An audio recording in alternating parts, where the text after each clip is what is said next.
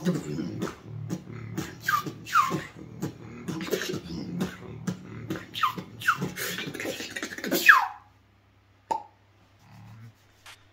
yo, welcome back everybody to another remix beatbox tutorial. Today I'm going to be teaching you guys the laser sound. Laser whistle, same thing. So anyway, this has been a very, very highly requested tutorial. Every time I do it in other tutorials, everyone's like, oh, tutorial on that sound, that sound, that sound. So I thought, you know, I'm finally going to get to it. I'm finally going to do what you guys want. And uh, here it is, the laser sound tutorial. So if you guys do enjoy this, if you learn from it, make sure you like, you subscribe, you share it, and you leave in the comments down below what you would like to see next. Let's do it.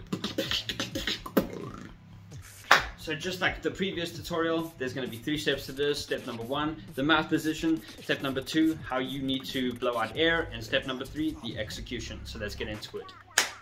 So just like in the previous tutorial, I've drawn something up for you guys. And I just remember, I'm going to clarify it again. I clarified it in the last tutorial. I'm going to clarify it here again. I'm not an artist in any drawing matter, okay? The only art you'll ever see from me is my music. But basically, what I've drawn here is that's your top lip, that's your bottom lip, that's your tongue, right? Now, all you want to do is bring both lips into your mouth and put your tongue on the top of your top lip. So, uh-huh, uh-huh, uh-huh, uh-huh, uh-huh. tongue is there.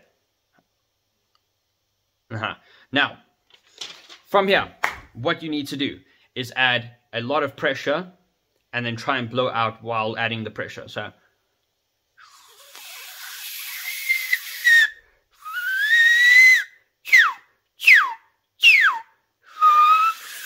So at first you're obviously going to get just a, a, lot of air coming out. You won't get the whistle immediately. It's really just about that tiny little gap of air, that tiny little hole between the um, top lip and your tongue that's what creates the whistle. So you'll have to train this a lot. I know the position might be a little uncomfortable to constantly keep your lips like that, but just keep training. I know you guys can get it. So I want to recommend that if you guys are training the sound, don't try and do it in short bursts like try to get it first at a longer burst sound. So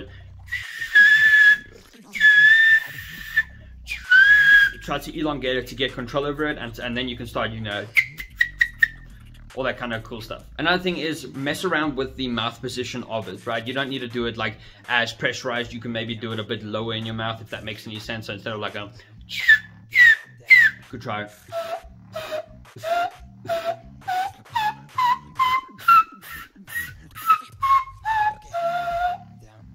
Ways to try.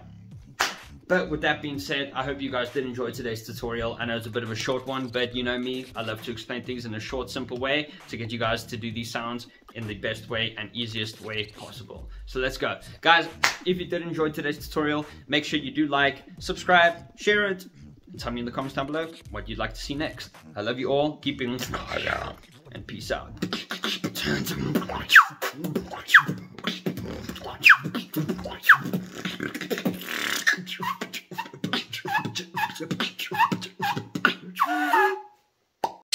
On fire.